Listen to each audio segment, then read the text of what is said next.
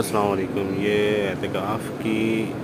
2023 के हवाले से मक्का मुकरमा में जो लोग एहतिकाफ़ करेंगे, उनके लिए लॉकर्स आ चुके हैं और ये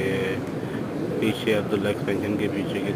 वॉशरूम की तरफ़ ये वॉशरूम के अंदर इनको यहाँ पे इंस्टॉल किए गए हैं ताकि इजी टू एक्सेस हो सबके